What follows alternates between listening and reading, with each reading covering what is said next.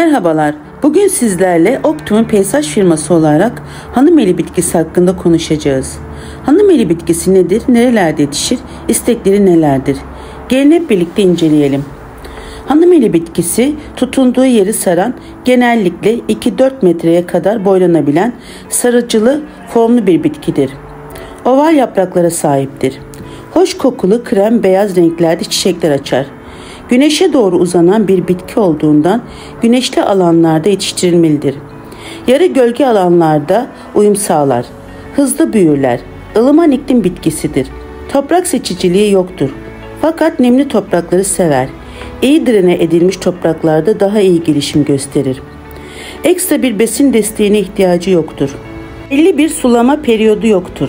Toprağı kurudukça sulanması bitki için yeterlidir. Fazla sulama kök çürüklüğüne neden olabilir. Budamaya elverişlidir.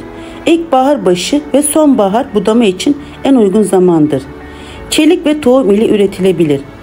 Peki hanım eli bitkisinde görülen hastalık ve zararlar nelerdir? Gelin hep birlikte inceleyelim. Yaprak bitleri, kırmızı örümcek en çok görülen zararlar iken külleme ise en çok görülen hastalıklardandır.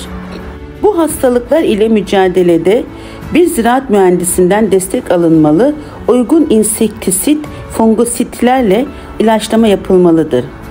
Bitki bilgilendirme videolarımızın devamı için kanalımıza abone olmayı, videomuzu beğenmeyi ve bir sonraki bitki bilgilendirme videosu için öneri yapmak isterseniz yorum bırakmayı unutmayın. Açıklamada bulunan iletişim bilgilerinden bize ulaşabilirsiniz. Optimum Peyzaj firması olarak izlediğiniz için teşekkür ederiz.